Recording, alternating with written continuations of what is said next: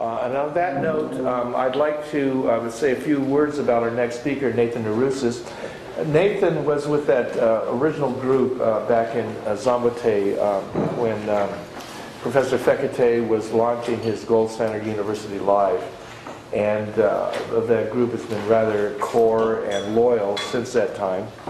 And uh, Nathan has, he's an inve- basically on the investment side of banking, but um, has a deep, deep interest in, um, in the theoretical foundation of uh, gold, money, and uh, what is happening today. And uh, that's, uh, so his topic is, is going to be on that issue of backwardation, uh, what it means, and the implications uh, for the economy and gold prices, et cetera, et cetera, et cetera. So uh, without further ado, uh, I would like to give a warm welcome to Nathan Narusis.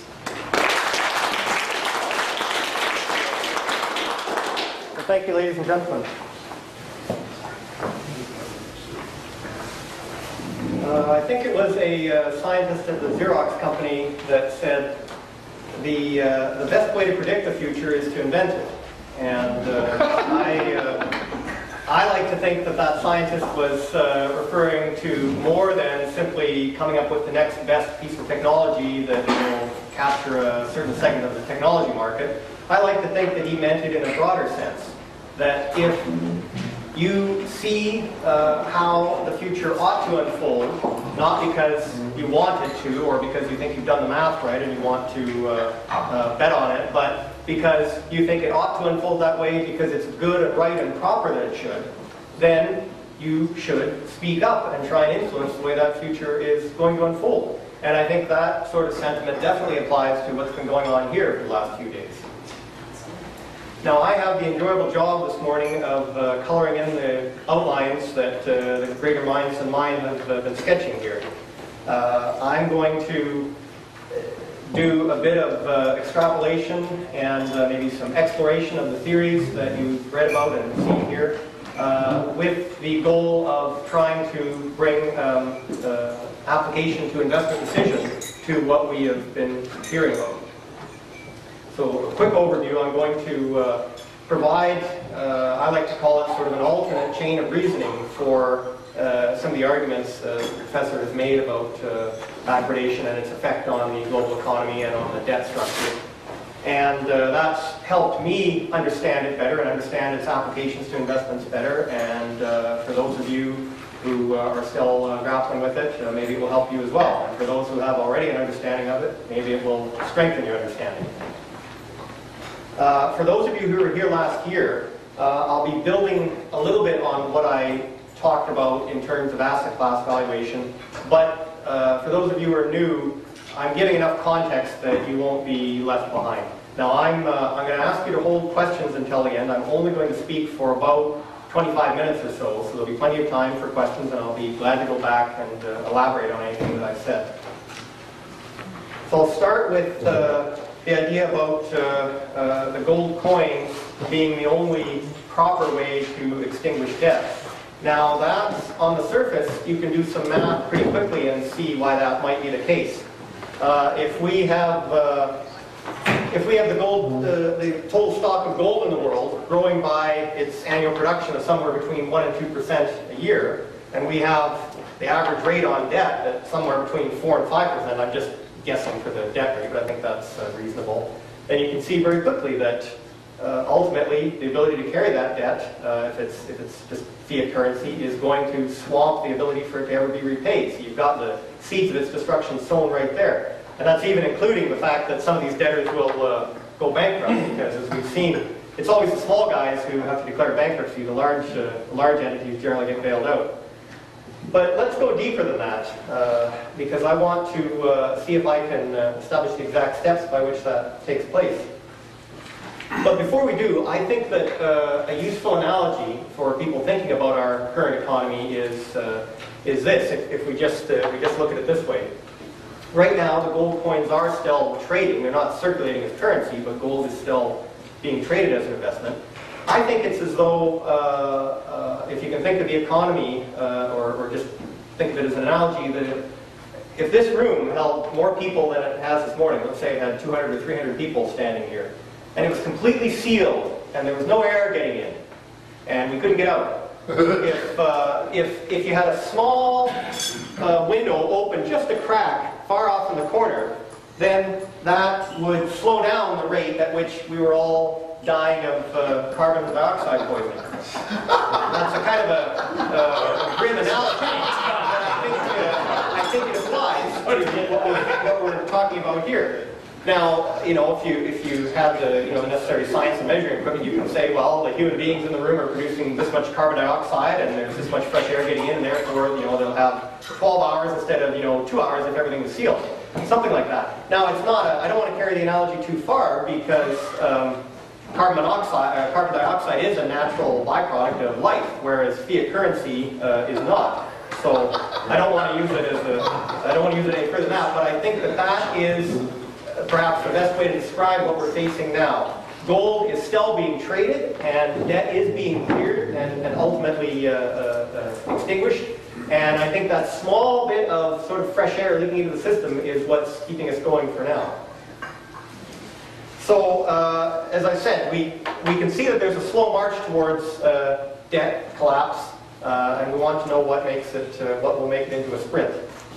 Now, before I get into the meat of my remarks, uh, I'm just going to make a, a, brief passing comment on investment analysis because uh, I've run into a lot of it in my career in the industry, and I can see that you know this won't be news to a lot of you, but just simply it falls into three different categories. You have fundamental analysis, uh, where you're simply looking at the, the known facts about the company's history. Warren Buffett loves to do this. You do your analysis, you pay a fair price, or an even better than fair price, uh, cheaper than fair if you can manage it, and wait. And ultimately you'll be proven right. And of course it's worked for Buffett, it's worked for many value investors over time. The opposite, or maybe not the opposite, but certainly a completely different approach is taken by the technical analysts, where they simply say, just give me price and volume data, and I don't care about anything else, and I will take that data and process it and determine what's going to happen next. Now, neither one of these two, I think, will give you um, uh, uh, proper uh, short-run prediction when it comes to gold, or the price of, the, I should say, uh, the, value of the dollar relative to gold. But the third one, I think, will, and it'll also help us answer the questions uh, that I'm dealing with this morning, the effect of permanent backwardation on the economy and the effect of permanent backwardation on the debt structure. And that third one, I could call it maybe aggressive uh, trading or anticipatory trading, where you do try and collect all of the short-term, uh, or, or, rather all of the, um, uh, the uh, immediate factors pressing on the value of an investment and process that and come up with an answer. Now, to give that some content, what I mean by that is if you were looking at an individual mining stock, for example, you would be looking at uh, things like when are its warrants expiring. I'm talking to junior miners here, of course. When are the warrants expiring from its last financing? Uh, is a new financing expected? Uh, when, when are the drill results out? Uh, when's the tax loss season, a tax loss selling season? How far away is that from today? And of course, what are the trading habits of the big players in this space? And you can learn all those things, and it allows you to do a better job of trading individual stocks. Well, by comparison with the, uh, trying to figure out the dollar gold uh, valuation, we would look at things like, is the IMF going to be selling more? Uh, is China buying more? Uh, are there shortages in the coin stores? Uh, what are the trading habits of the big players? Which we have learned about, especially with the professor's comments about the, uh, the bear, the bull in bear skin. Well, as I said, please keep that in mind during the rest of my talk because I think that when we apply this third method of analyzing it, we can uh, find better, uh, better answers. So, when we're dealing with a complex problem like the effect of uh, permanent backwardation on the economy and on the bond, uh, the debt structure, I think it's useful to back up and take a moment to see that we can be sure that uh, we know what we think we know. Look at it by another means. So I'm going to provide an alternate chain of reasoning here. First off, what is, what is debt? Remind, let's remind ourselves for a moment of the actual definition of debt. It's a, a dollar obligation to pay interest and principal by a certain date.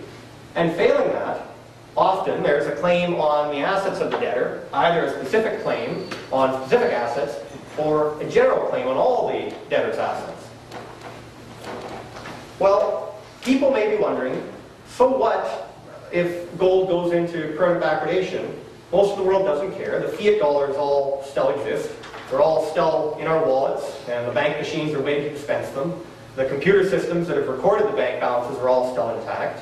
Why can't we just carry on with a fiat system even if nobody wants to sell gold anymore? Well, here is what I uh, like to call the actual transmission mechanism that will bring this withdrawal of all gold for sale into the, the consciousness of the world and have its effect. I think, I can't find the source for this investment quote, but I think it's uh, been uh, made by a few uh, investment commentators. Prices, in the short run, of course, prices are set at the margins by the smartest of the investors.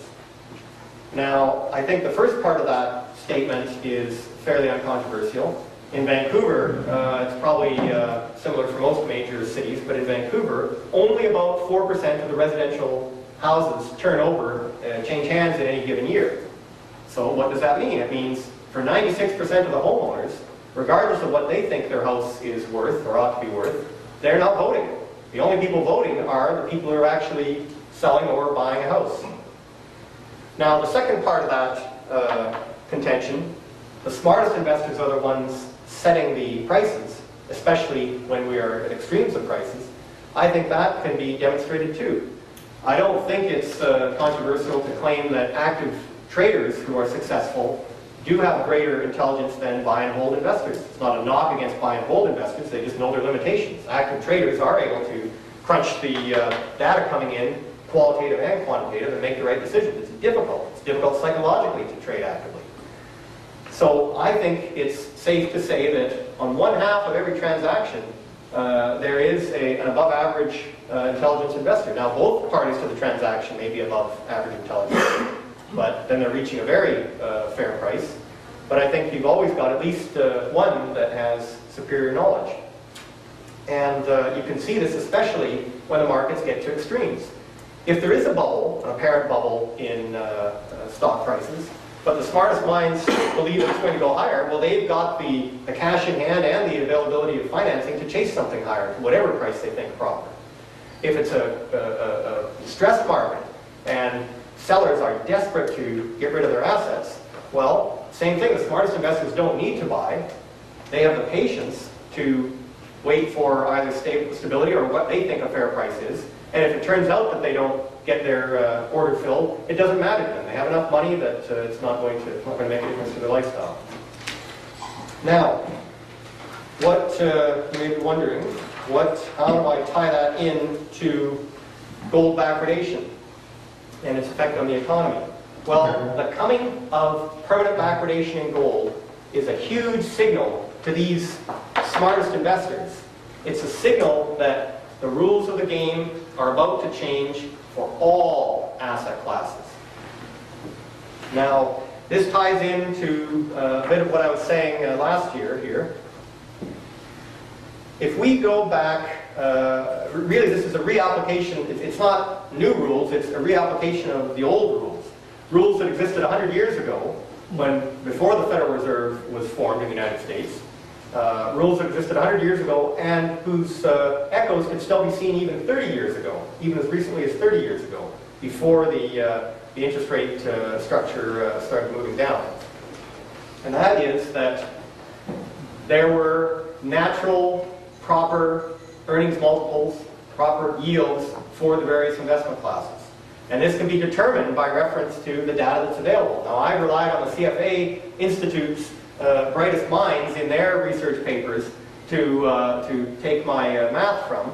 Now, they were not uh, pursuing the same uh, research with regards to gold, but uh, I, I, trust that they did a thorough job of getting the data together. It's not complete like it is today, but it's, it's substantial. And what that data showed is that 100 years ago, the earnings multiple for the broad stock market as a whole was about 13 and a half times. In other words, the reciprocal of that, 7%, a 7% earnings yield. Now, I like to use the phrase earnings yield. Uh, I think Buffett, uh, Warren Buffett was the first person I saw use that. It sort of uh, makes sense if you're buying companies uh, uh, whole, like he does, uh, more often than simply buying stock. But it's, it's applicable to any size of stock investor. That's not the dividend yield, of course, that's the entire earnings of the company available to the owner.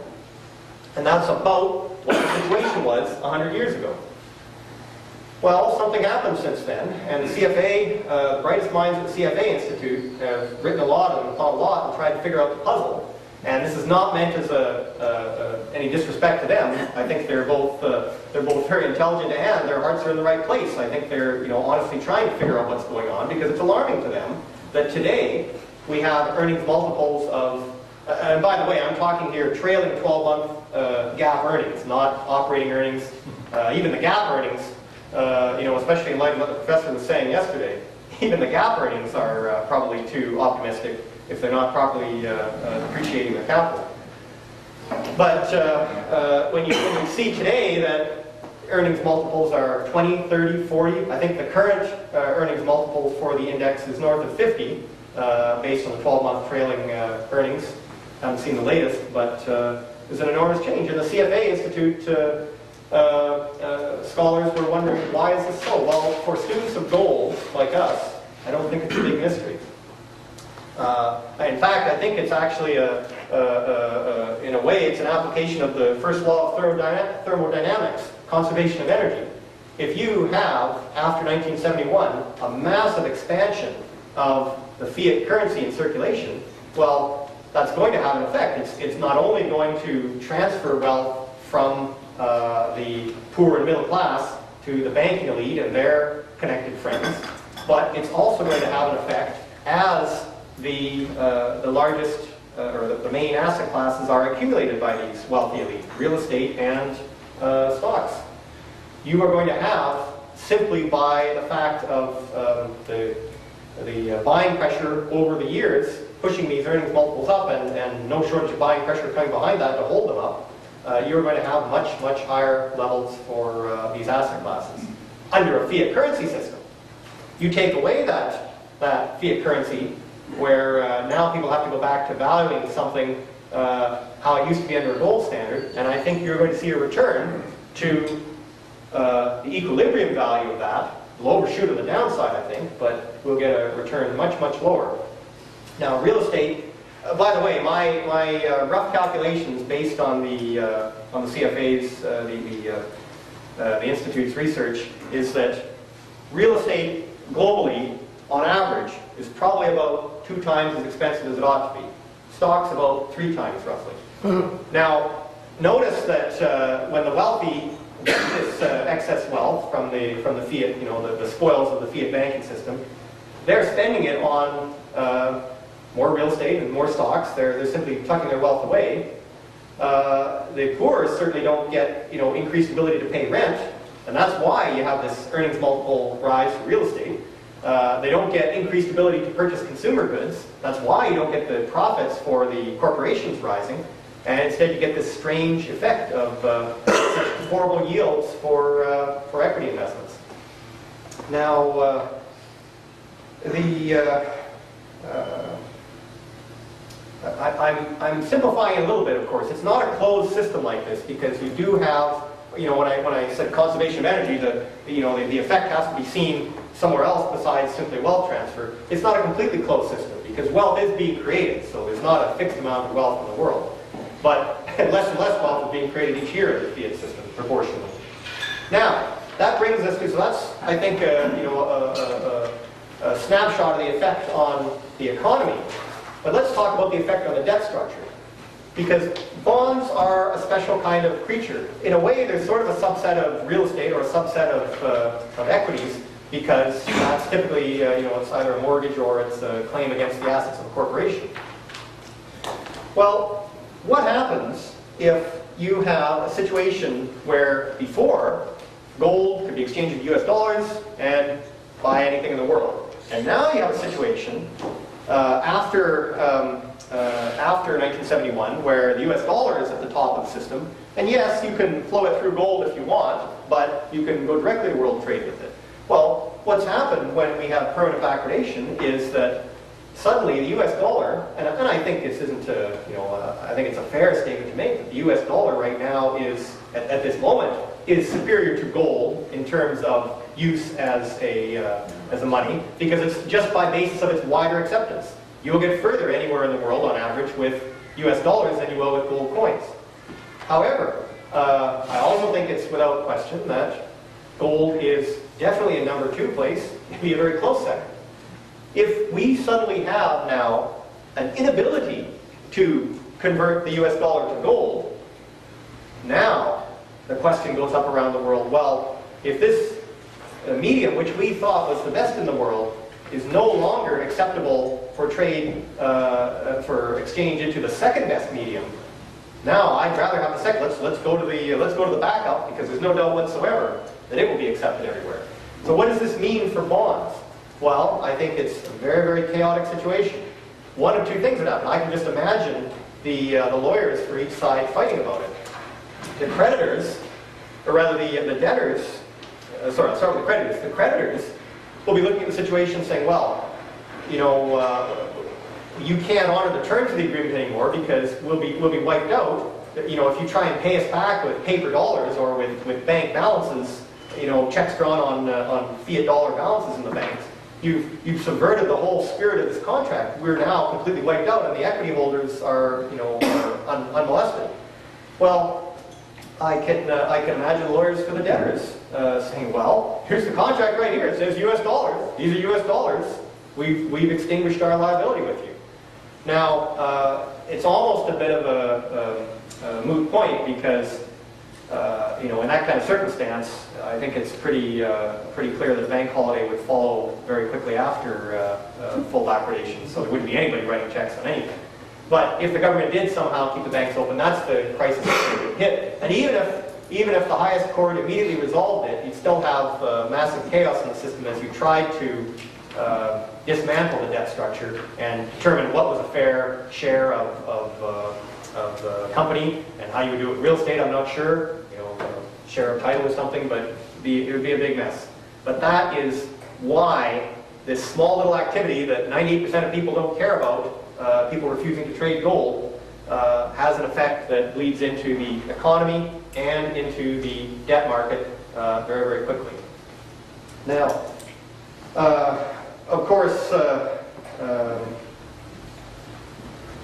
this, uh, this assumes uh, that uh, you know, the, the, the, fiat currency immediately becomes worthless. That would apply for 99.9% .9 of the countries in the world. There is one country that could actually step in at this juncture and keep its debt structure uh, intact if it so chose. I'm curious, can anybody guess which country that is? At least there's only one last time I checked. Does anyone have any idea which country has enough gold to back its currency? Lord? Sorry, say that again? Lord? Uh, not, not to my knowledge, possibly. In the English Channel, no. Uh, not anymore either, I don't think. I think they sold enough. of There's the only country that I know that has enough to do this is Venezuela. And uh, from what I know, from what I know of Hugo, Hugo Chavez, uh, I don't think that he's a champion of the uh, rule of law, so I don't expect that that will happen. But I mean, I don't mean to, I'm saying this for the sake of completeness, I don't mean to gloss over the fact that it's also assuming that fiat currency becomes uh, worthless. Now, when I talk about the other asset classes uh, reverting to a proper earnings multiple, of course, the other big assumption that I'm making, and I mean, it, nobody's really said it, it's such a depressing thing to consider, but the other big assumption that I'm making is that when it gets to this point, and all offers to sell gold are withdrawn, we are all hoping that the government will finally admit defeat, the United States government to begin with, and the other major governments of the world, and admit that gold, uh, you know, maybe try and back their currency by gold to some extent, or figure out some way to unwind the system. Certainly, as long as they don't stand in the way of gold and silver returning to use as money, then we can uh, count on this, uh, this reversion happening fairly quickly. If they do stand in the way of it, they won't have much time to get out of the way.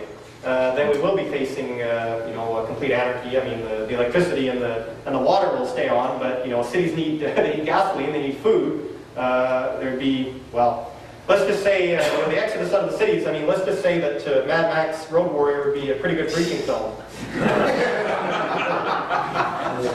All right, enough, uh, enough cheap uh, laughs here. the final things that I, uh, the final things that I wanted to discuss. I'll just say a few words about my own uh, thoughts on the trigger points. I mean, it's, it's been said, but I think there's different, different ways of looking at it. Uh, coming back to uh, what I was saying about the uh, prices being set in the short run by the, by the, at the margin by the smartest investors, What will trigger the removal of gold? Well, the smartest investors in gold are constantly measuring the ability of the central banks and the governments to keep the paper game going. Uh, every time backwardation threatens, it's a pretty good sign that a lot of those sophisticated large gold traders are saying, well, I think they've had this time. They don't, you know, I mean, now, you know, it's hard, it's, it's difficult, uh, it's a qualitative assessment. It's difficult to calculate when this might be, but you're seeing evidence of it every time you see a little whiff of backwardation. Uh, and of course, if this mentality were to take hold, it can only be fought by dumping real physical gold into the market for these gold traders to take possession of. Because they're not like 98% of the people that are satisfied with you know, some form of paper gold, if they're even interested in gold at all. These guys know the deal. They want the real thing. And they, you know, it will be SOS. It will be you know, position, uh, possession outside the system. Now, we also know for a fact that the, the value of the fiat assets that would be, uh, the dollar value of the fiat, fiat currency assets that would be, um, I said that wrong, the fiat currency dollar value of the assets that would be seeking shelter, of course, dwarfs any amount of gold uh, that might be in the central bank's vault still, and in any sort of dark pool, dark matter, uh, uh, dark, dark investment pools uh, out there. And so we can see the end would come fairly quickly in that kind of circumstance. Now, why has this not yet happened? Well, uh, you know, one of the things I liked about the professor's works when I first started reading them was his uh, constant, or maybe not constant, but his regular uh, check-in with the morality of the situation. Now, it's easy to say that the morality uh, of, you know, we, we, can, it's easy to judge the morality of what the banks and the politicians have done with their unholy alliance for, uh, for going back, you know, centuries. But the, the, you know, the, the private speculator, the sophisticated private speculator can get in on the game too. And he hasn't been doing so. And uh, I think the professor was right to not condemn him because, uh, as a famous philosopher once said, I think the, you know, the exact expression was, morality ends when the point of a gun begins. We didn't make the world the way it is. There's no other planet that we can move to. If we want to climb from, you know, middle class or lower class up into a higher class, we have to work within the rules of the system given us. And some of these smart speculators have figured it out. And even keeping their books in gold ounces, as the professor you know, suggests that all the smart people do and should do, if they're able to see year after year 10 or 15% gain of their net worth as measured in gold ounces, why on earth would those speculators want to pull the plug on the system? So in a way, they're not uh, unwitting uh, supporters of the regime, but they're, I guess, maybe incidental supporters would be the right word. And I don't condemn them uh, uh, morally for it either. Well, I guess the last question is, uh, how long can this game go on? And to my mind, I see a couple of constraints. Uh, the first one we've talked about a lot, how much actual physical gold is still in the central bank's hands for use to manipulate the market. But the second one, the second constraint that I see is uh, if I were in the shoes of these banks playing their game, then really the, the goal would be to accumulate as much physical gold in my own private hands and accumulate as much real estate and equity holdings in the you know, major corporations of the world. So unfortunately, this is kind of a depressing uh, uh, uh, image too, but the constraint is how much independent wealth is left in the world. The banks, of course, can't get all the gold because they can't see where it's all buried. But they can certainly see where all the real estate in the world is. They can see where all the corporations are traded. Uh, the constraint now, you know, if, if, if this constraint is the one that stops us rather than a shortage of physical bullion, then unfortunately we'll, wake, we'll uh, all wake up the next morning uh, as, as new feudal serfs of the, uh, the bankers. And this applies even to billionaires, uh, potentially, because if they're not politically connected, it's no good. Just ask uh, some of Vladimir Putin's uh, ex-oligarchs there who thought they had it made, and then one day they woke up penniless in a Moscow jail cell. Now, I'd like to uh, end on a positive note.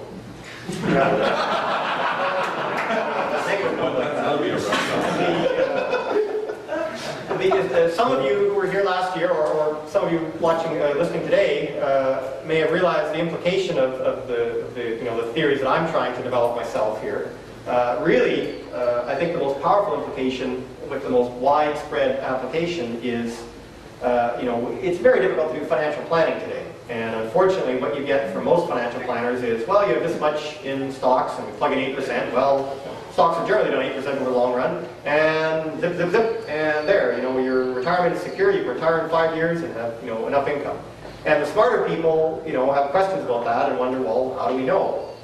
When you realize that there are natural uh, uh, earnings multiples and natural earnings yields for the major asset classes, and you know their proportions, uh, you can actually make a guess not only about what those asset classes should yield in a proper free world with real bills uh, clearing trade, you can also make an estimate for the proper purchasing power of an ounce of gold. Now here I'm not talking about the fact that you know it's remained stable since Roman times and it still buys a, a, a good suit.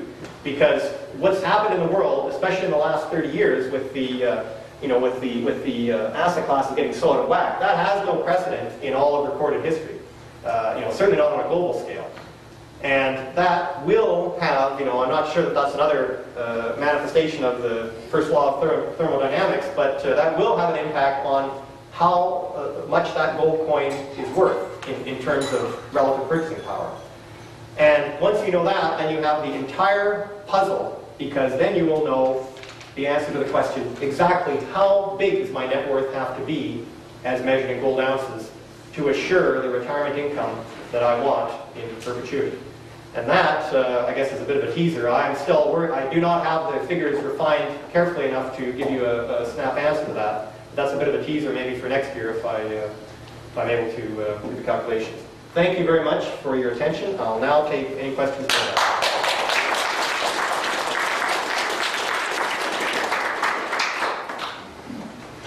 Nathan, can you open the door? I need some fresh air. Probably claustrophobic. Yes. Yes, uh, thanks very much for the presentation. Fascinating stuff. But what you've presented there is a situation that unfolds from a, fiat system into a uh, anarchic or a gold-based system. Yes. And uh, in my in my view, there's a, another possible alternative. The, the powers that uh, run the, the, the, the global finance system as we know it today aren't going to easily let this golden goose die. And one easy way to uh, make sure it doesn't is to simply change the deck chairs around in the next few years and introduce several Euro type zones with, with, uh, with, with currencies that encompass several countries, do a debt transfer between the countries as, all, as they all have debt, and uh, a bit of uh, bit of paper juggling and a couple of international agreements, and bingo, we're into a new international fiat currency system. Right. Well, I- oh, sorry, go ahead, read. And, uh, and I Yeah. just just wondered about your comments on that. Yes, uh, certainly that's a possibility. What I can say, I don't think it's the most likely outcome. What I can say about that, which will maybe be of comfort to gold and silver investors, is that I don't think you can have such a major tectonic shift without a massive jump in the value of gold bullion. In other words, that's sort of like setting a, hitting a reset button. You know, use a overused cliche lately. Uh, because notice what happened in 1971, or not in 71, but fairly quickly after that, during the decade after that. Gold sort of caught up to where it should have been because of the debasement of the dollar to date. Uh, I think that if the governments of the world tried to do that, now I can't, I can't walk through the logic of that. All I can say is I think that there's a reason that it's happened in history, and uh, and I think that you know those those forces, however you want to describe them, you know, the, the true economic forces asserting themselves, they will make so whatever this new block block of uh, different uh, block currencies or a new global currency might be, I think that its exchange rate into gold will see gold investors rewarded, perhaps quite a bit more so than under the scenario I laid out here, where fiat currency simply dies. Because, you know, uh, uh, I think the, the, the, the, actual math from the 70s was you had a, you know, after gold stabilized at around 400 or whatever, after the, you know, nine years of, or 10 years of, of run-up, and, uh, you know, you had basically a, a 10 or 12 times increase in purchasing power, offset by you know, uh, uh, you know, inflation uh, growing prices by about six, but you ended up with, you know, a very, very healthy, uh, you know, six times uh, increase in, in the purchasing power of gold. by the way, you know, I, I think that's much greater than what you would get the purchasing power in gold uh, if the entire fiat system closed down tomorrow. Uh, so I guess that's not maybe a, an answer to your question, but I guess it's a, you know, I, the answer that I would give is, well, I'll take that as an investor. I mean, you know, I, uh, I enjoy accumulating wealth as much as the next guy. You're basically saying that that action of having regional cur- currencies and so forth, whatever the plan is, and the action doesn't come with consequences. And the consequences are that you're saying that the purchasing power of gold could actually rise further because of that, that action. Yeah, I I mean, would agree with that. but Yeah, I'm just- I'm just presenting that as a. Oh, yeah, as an alternate, yeah. Possibility as far as. Yes. I, I- yes, I certainly agree with that. It is a, a possibility. I don't think it's as likely as a complete collapse of the system because I think that, uh, you know, I think we're overestimating the ability of even, you know, these smart, uh, uh, people that may be pulling the strings here. I think we're overestimating even their ability to manage things. Uh, but it certainly is a, a possibility. Uh, Louis? I think that's a definite possibility, just looking at this behavior of the central banks uh, lately. Um, And the most interesting, the latest development is the Bank of, uh, Central Bank of India buying 200 tons. There's an interesting, uh, I don't know if- how many of you have read it already, because you're all pretty switched on. Um, But um, the- there's a story going on that the the deal was made between the IMF, well, the US, um, and, and India, for India to buy the gold, because they didn't want China to buy it, because China produces it, and they're hoarding it. And so India can't produce any, and so to balance things out, so if you take that logic further, really the powers today are meeting quietly behind the scenes, planning the next uh, monetary system, but they're positioning themselves so that they're all happy with it, hopefully, or as much as possible, maybe not all of them, but, you know, and India was going to be a big loser, and now they're going to be less of a loser, and, uh, you know, so uh, I think that's more than likely that they're all positioning themselves with the new monetary system eventually, and Robert Fisk wrote a fascinating article about that, seems like the date where that happens is 2018, uh, according to his sources, but they have all this time to get ready for it. And, and the logical consequence is, if that's true, then of course, why else would they want to hoard more and more gold unless gold is going to be worth a lot more? Yes. Yeah, a slightly devil's advocate position, but I, I listened a, a short while ago to Paul Van Eeden. I don't know if people are generally familiar with Paul Van I- I've I've read that. Yeah, he, he seems to be quite a switched-on investor, and he's very much into gold and gold stocks, and he's always been a strong supporter of uh, the kind of sentiments we've been listening to. However, he does sums to try to get to your last point, the fair value of gold, fair market value of gold. And just lately, the last thing I read was that he was selling quite a bit because he does his best estimates of the money printing that's going on, and I know they publish them free, but he has these proxies and he gets to it. And he had around $785 an ounce at a time when it was around $1,000 an ounce. So it's just a slight worry that a guy who has spent the best part of his adult life uh, working on these issues would say, I'm selling now fair market value 785. When we all feel something, I think we feel gut level, it's different, it's higher. Well, um, Let's buy. Weak hands to strong hands. Yeah, I guess, uh, I guess I'd what just like to I- be Sure, Sure, I, guess, uh, I think that the error that, you know, respectfully, I think the error that he's making is, uh, assuming that there will be some kind of orderly, uh, wind down of, of, you know, paper being exchanged for gold and, or, or being officially backed by it. And it may be nothing of the case. I mean, if the US government got into a situation where they were absolutely up against the wall and nobody would accept anything but gold, then they may well, uh, you know, set a gold price that allows them to conserve much of their gold in Fort Knox, you know, however much they have left there. If it's there. Uh, if it's, if it's, yes, if they have any. Um, and so I guess, you know, I, I- I certainly, I used to, I guess I used to look at that myself as a way to potentially value it, but now I, I've come to think it's, it's much more, not complex, but it's sort of much, a, a much greater fundamental shift, because if nobody wants paper dollars at all, then it doesn't mean an infinite gold price, it means that paper dollars just, you know, they just become collector's items, you know, if, if that, or fire, you know, firewood, uh, you know, fire starters, and we, it's as though they, you know, just whisked away, you know, one night, and, and we now have gold, and so it becomes how much gold is there relative, you know, the other assets of the world don't vanish, the corporations are still here, the real estate's still here, uh, now it becomes what's the new relation? You know, what does gold represent to the world's wealth? It's, I guess that's, I guess that's what I would say. I mean, he, I think he is making some incorrect assumptions in his Yeah, math. you- you're, uh, pointed criticism, if you spoke to him, would be you're probably not taking enough account of the depredations of the fiat currency. That, that's basically what it's Yeah, and, and that may be so, I don't know. He seemed pretty sharp to me, but maybe that's true. Uh, Uh, Nathan, I have an interesting question or something. Uh, somebody said the British Empire ran on 150 tons of gold.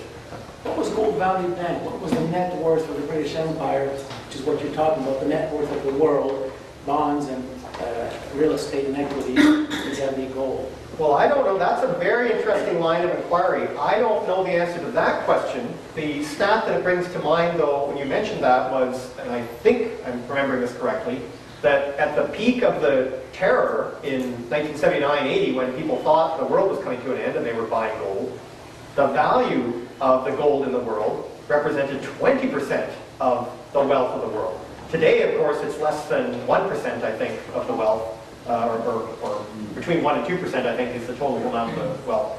So uh, now, of course, you know, we, we, we would reasonably expect that the magnitude of that kind of terror would be much greater this time around if the paper dollar stays alive. And so you could see gold, uh, you know, in that equation, you could see gold jumping to 30, 40, 50% of the value of the wealth. Uh, so, I mean, there's enormous, uh, obviously, you don't need to show this crowd, hang on your gold. enormous implications. But uh, I, if I had to hazard a guess at your question, you were saying at the time of, uh, let's say, 1800 or something? Yeah, I mean, uh, you know, certainly the wealth of the world increased so dramatically during the 1800s uh, that if I had to make a rough mathematical guess, I would say that even back then, uh, you know, when there was no panic, when there was a, you know, a smoothly functioning, you know, relatively smoothly functioning uh, world economy, gold was probably 10 or 15 percent of the total wealth of the world then. And that was much less gold, of course, in existence too. Uh, I'll there- take the side of that trade, the guy selling there. Yeah, exactly. The other side. Um, Nathan, excellent. And uh, after, li- I mean, listening to your presentation, the metaphor occurred to me, which is somewhat analogous to the canary in the gold mine, is that gold is the gasoline in the banker's house of cards, and backwardation is the trigger mechanism, the ignition. So that's my feeling about your presentation. In a situation where the fiat currencies are collapsing in value, you outlined, you could see in your mind a discussion between the lawyers about how to unwind the debt structure. Right. Now, I've often thought about this and I'm wondering what would happen. And I can only take the side of the lawyers who say, look, the contract says dollars, Yeah. I paid you in US dollars, and only, you know, what used to buy you a big bit of real estate now is lucky to buy you a hamburger. But here's your US dollars. We've paid it off in, you know, we've, we've extinguished our debts. Well, What, what's, how can you reasonably argue the other side? On, Well, you're a lawyer from the other well, I guess, I guess I, you know, the, the, the sort of the um, uh, uh, finishing comment I put on that part of the uh, presentation, that may be actually true, and the courts may actually say that, but it may be impossible to get your hands on enough US dollars to actually deliver if the banking system itself goes under and has to go into a huge receivership while, you know, they sort out the derivatives and they sort out, you know, what depositors should get, and they'll probably end up getting, you know, in terms of value, they'll all probably get up getting, uh, you know, three cents on the dollar or whatever, but it'll take years to unwind. At that point, the debtors are now in default, and there will have to be a deal struck. I mean, I guess if I had to bet, I would bet that those debt holders will become, they will wipe out the equity holders.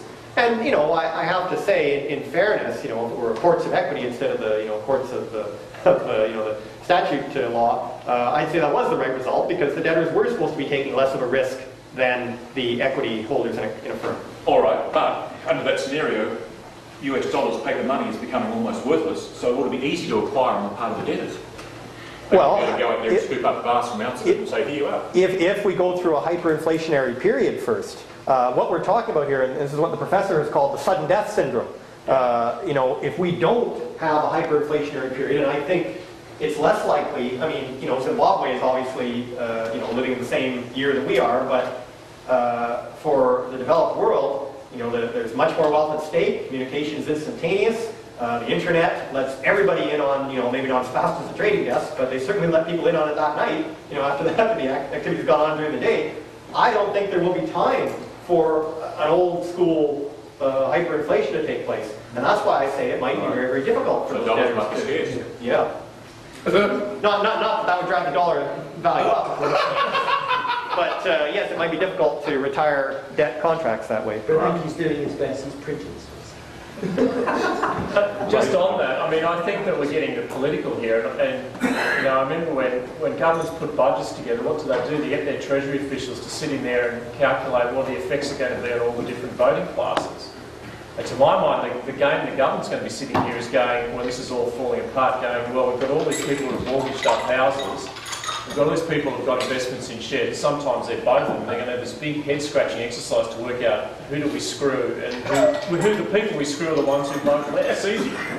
Most of those are borrowers, Exactly. and So, very few creditors. Yeah. so So you there's just your decide answer, to just apply follow, inflation, you go- with it. You take the inflationary part Exactly. and try to wa- wear away the real value. Exactly. And that would be my bet. That's, the governments are going to look at the votes as they, you know, I mean, obviously, if, if everyone is sitting on house prices, their house prices are falling and they're all gone negative equity, they're going to be screaming like anything. Yeah, We've got Ron, a precedent for that. So, I don't know, I You're right, you're right. The, the, the easiest thing for the government to do may be say, well, look, you know, there's no way to sort it out, and if we try, we'll all starve because the economy won't keep running. We're gonna just have to wipe out everybody's debts, and of course, you know, the, the president who says that will be very popular, and, you know, the, the wealthy people will, you know, go away and sulk, but the world will carry on, and, you know, I mean, the wealthy will uh, lose a bit of their wealth, but, you know, if they, they own things clear title, they won't be that badly hurt. And, you know, the pain will to be done. That's probably how it would be resolved politically, I would think. I, I, I tend to think that you need to look at this further than that too, because if you just wipe out debts, right, the chances are that any creditors floating around in the world will no longer be giving you any money at all. Well, There's consequences to that. I mean, I agree with what uh, Bron said, and there's precedent for it. You just have to look at the GM bankruptcy proceedings, right? That's uh, an example of screwing creditors. Um, I agree. I, but my point being is that there's consequences to this. It, it- you know, you've got to ask yourself, and then what? You know, the action then consequences. Yeah, but politicians never ask that question. I know that politicians I agree. but this is There will, there will be consequences, There will be consequences because if you just wipe out debt, and you will screw the creditors, but then the creditors will action something else afterwards, and from that point on, your economy might not get any money. Well, So you're right. I, I no one's going to loan you anything. Sean Corr would have to live within our meetings. So you know what I mean? Like, it's, it's, Oh, yes, I, I agree. I, I, I hate to add, I don't think that's the proper equitable solution to it. However, uh, that would, what, what you said would certainly, you couldn't wipe out debt if you were, if you were just going to carry on with a new type of fiat currency. Uh, I mean, if you did return to uh, a gold and silver standards, then now, you know, the question of loaning becomes very simple because you have the discount houses, you know, with real bills, and now you've got enough credit to finance the commercial goods. You know, we don't need to keep, we don't need to build the, you know, new factories immediately, but we need to keep the food flowing.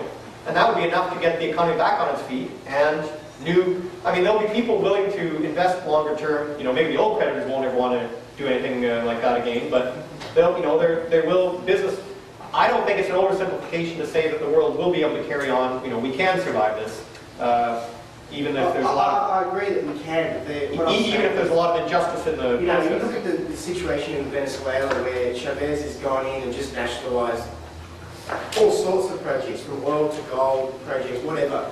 What that, what that does is it sends a great big signal out to the rest of the world that if you want to invest in us in anything, this is what's going to happen. So they don't, you know, like they just don't. So that that is potentially what's going to happen if you just get rid of it.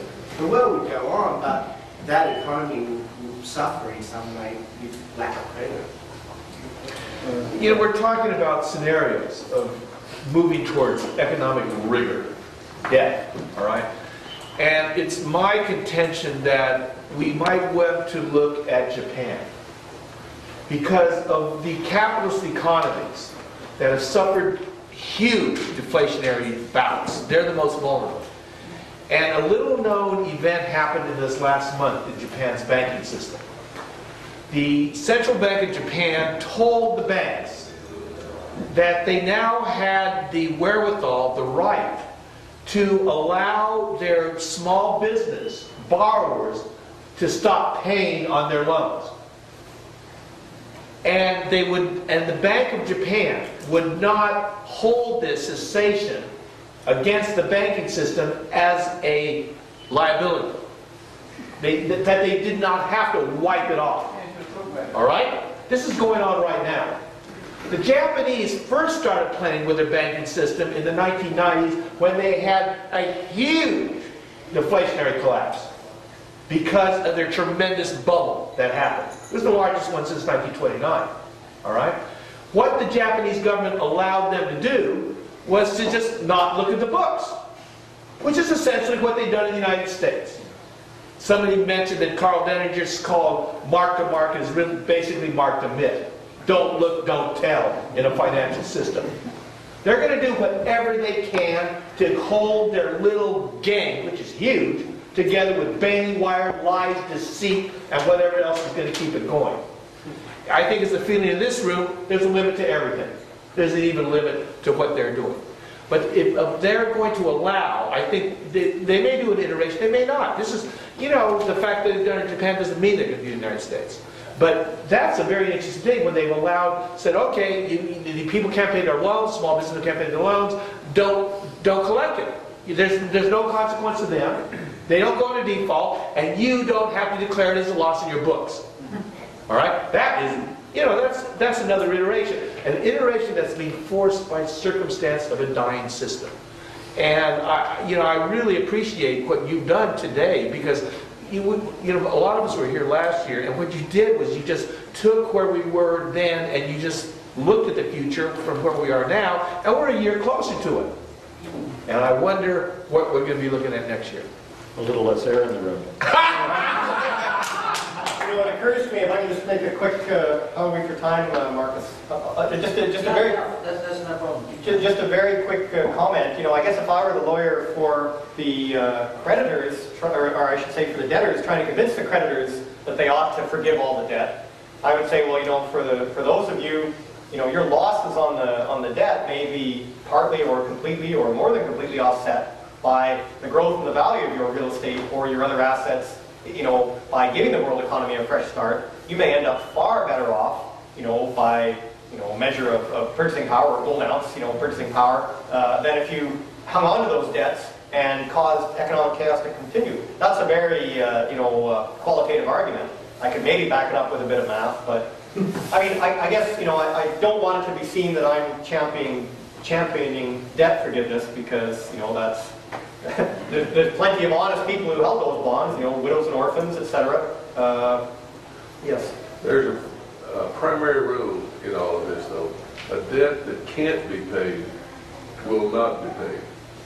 And right, right now, these debts that all these people have that took on, they can't pay them. Now, you can play like, you can do mark to myth and do all that, that debt that can't be paid won't be paid, and you're just gonna have to factor that in, and the creditors are gonna have to factor it in, and they hate it, and like the lu- the unions are owed pension, a pension income for the next 50 years. That's a debt to them.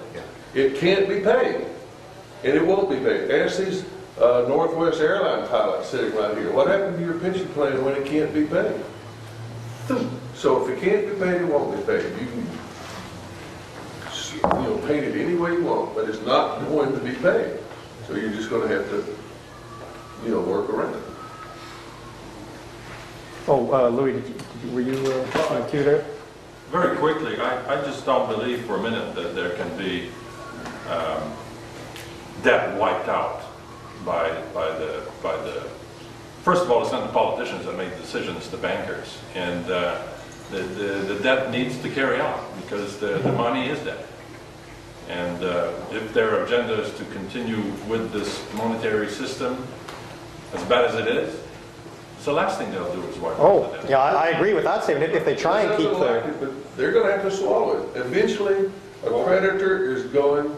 That'll be the end of the system when that happens. No, no, it can, it can, it doesn't have to be catastrophic. It can be No, finagle. the end of the system doesn't mean catastrophic. It means by the time the banks are willing to wipe the debt off, it's because they're ready with the new monetary system that's going to come Well, out. that's okay. But the debt can't be paid.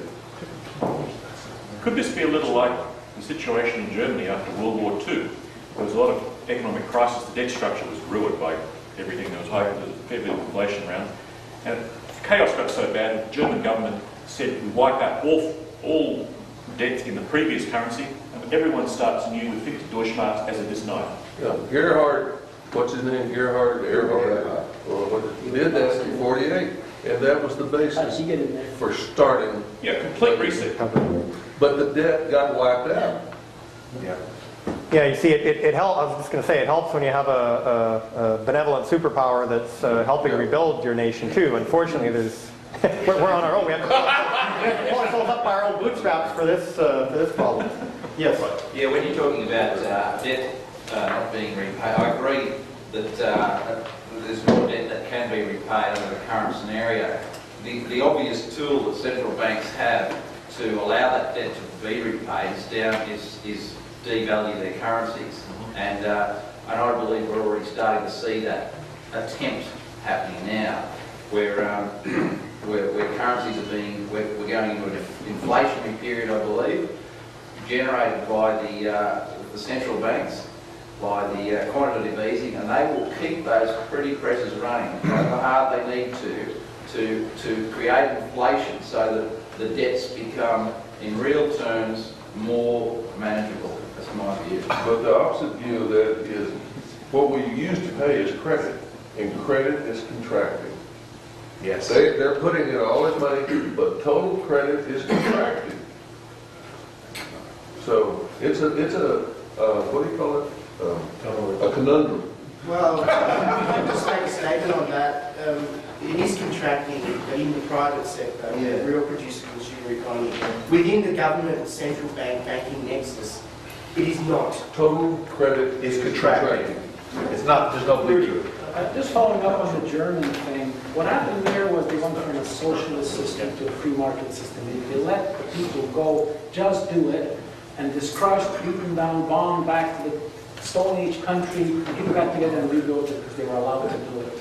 And it's kind of like the pioneer Americans came in the first two years, Plymouth Rock or wherever it was, they came with socialist ideas, and people starved to death. And by the third year, this isn't working, let them just go, let them get the benefit of their labor. Free market policies came in, and it took off from there. What happened to the Indians, Bill?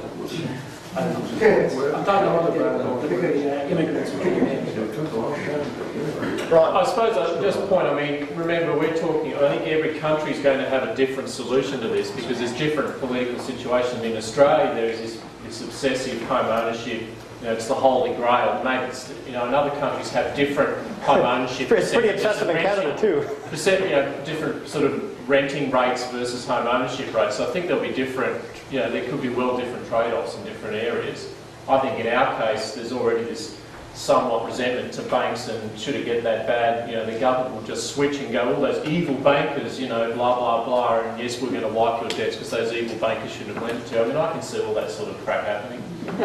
You know, depending on each country may well be different, depending on the bankers have got a bit more of an ear and, yeah, you know, it's not going to be uniform, it'll be, be chaotic. All right, well, I think that, uh, I think that exhausts the So topic. that is the chemical that, that- that we have invested in mining companies, should push that dramatically.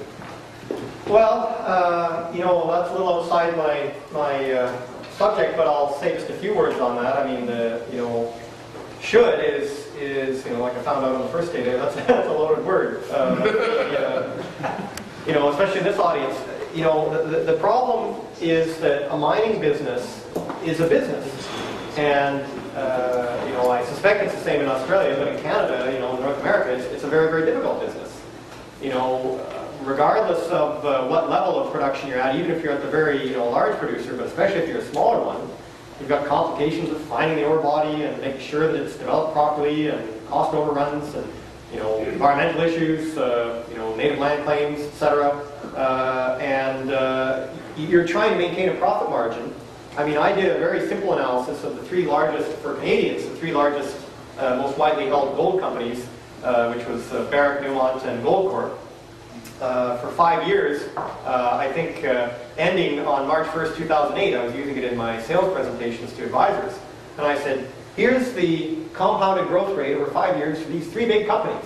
You know, they, they, you know, they, in, in a rising gold environment, there was the great time to show how leveraged they were to the price of gold. And uh, the difference in the compounded growth rate, I mean, to be fair, our, our fund was gold, silver, and platinum equally weighted, so I took an equal weight of the improvement in the price of those three metals. and an equal weight of the improvement in the share price of the three biggest mining companies. Now, of course, dividends are about, you know, a percent a year or whatever, I didn't include those, but you had barely uh, a 1 or 2% greater annual return by owning the mining companies at the time when they should have absolutely been shining. Uh, So you're not getting compensated unless you are really, really knowledgeable and are able to, you know, get in and private placements in, you know, the smaller developing mines. And even that's risky or else everybody would be doing it. It's, it- I would say it's, don't treat it as a sure thing. Treat it as a, as a, uh, uh, you know, uh, the icing on the cake for your physical bullion holdings of gold and silver. Now, of course, I sell gold and silver, but I, you know, my argument, I think, can stand the, Was there a significant difference between Barrick and the other two? uh, Barrick did lag at that time a little bit, but the other two were not, they weren't, it wasn't hugely different. Uh, What was the difference in the hedge book? Because it's widely regarded as how Barrick's fallen on its rear end. What's held them down? I don't remember the, uh, the, the full detail, but like I said, it was only a simple, you know, I just did the simple return analysis, the compounded return analysis. Uh, I know I'm, I'm, you know, maybe angering a number of mining stock investors by saying that. All, all I would say is just keep in mind that it could work out spectacularly, you know, the leverage could come into full play, uh, you know, as long as the government doesn't seize your uh, mining property. Uh, But, uh, it, you know, I, I just wouldn't treat it as the, you know, your, your core holding. Nathan, a lot of the reason for the underperformance of the leverage of the mining companies in that period was because their costs were going up. Well, yes, very yes, that's, that's what I'm saying. It's hard to maintain the profit margins because of all that. But in the next few years, you've got a situation where the mining industry as a whole is going into a decline or a relative plateau. So mining costs are going down and the gold price is going up. In this situation, we ought to see leverage come back again in order to catch up. The sort of Oh, you mean, mis- right, because there's no shortage of engineers and things like Exactly. that. Exactly, there was a huge Yeah. shortage of all mining equipment and personnel in that period, and the costs of hiring a, you know, a first-year geologist out of university and so on just doubled and quadrupled. Well, If, if the I, oil price goes back, back towards the $147 a barrel, I think you'll see that same effect again, you'll start to lose that. yeah, see, I'm, I'm not, I'm not an expert in how much each factor of production costs a mining company, so I mean, I'll, I'll, I won't make any more comments, you know, except to give a general thought. I think it's Let's- important. sorry, Let's call a spade a spade. Gold shares are speculative and gold bullion is an investment, or better yet, a saving. Not quite. No? Uh, Well, spade is spade, sorry. Trevor. It's okay. I, I would, I would say that bullion is not an investment. It's an insurance policy. Yeah, It's a different form of money, so it's It's the same, kind of like insurance. I think the professor says that. Uh, But that's what I say too, as when I have the opportunity to, to give advice. But, um, and, and, and shares are a- a- an investment. Some of them will be speculative, but some of them will be pretty sound, good, sound investments in a portfolio, but they're equities. That- That's, I think that's what the main difference is. When we talk bullion, it's money. It's not, uh, it's not an investment. You hoard it. Yeah, that's a better way of putting it. You know, the CEO of our company said, you know, I start with the assumption that I should own nothing but gold bullion, and then you convince me why I should move some of it out of cash into an investment, whether it's in a regular stock or a mining stock or anything. Uh, and that's maybe, uh, you know, I think, uh, y- you can, you can arrive at the same conclusions, but if you rethink your own investment policies based on that, you know, you may be happier with what you've already got than, uh, than otherwise if things are unpredictable. Any, any more questions? Yeah, equities, uh, equities will be wiped out if the uh, crisis continues as it has, Uh, with the exception of gold equities, because the gold mining companies, whatever bad things you can say about them, have one uh, great advantage, which is that they can carry their books in gold units, which other companies either are not foolish not to do or they just, uh, because of circumstances, couldn't do. And as a consequence, the capital of the companies, with the exception of gold mines, can be destroyed, and uh, they are in the process of being destroyed with, uh, because of the uh, quantitative easing is going to push interest rates lower, etc. So the gold mining equities have a great role to play. Just how well they will play this is of course open to question because the management has a very poor record. They show a, a, a great deal of stupidity with what they have been doing and how. So they, I think they will uh, free themselves of the, uh, they are in hock to the banks. But the banks are pretty well gone. So they will get their freedom back, and how they will play their hands remains to be seen. Uh, So if you are selective about gold mining equities, uh, you, you you may have a good chance to save your investments. I, I wouldn't hold out rubbish, even including oil share, uh, energy. I don't think they are as good as, as gold equities. Do you recommend Barrick, Professor? I propose a toast to the funeral march. Well, thank you very much for your attention.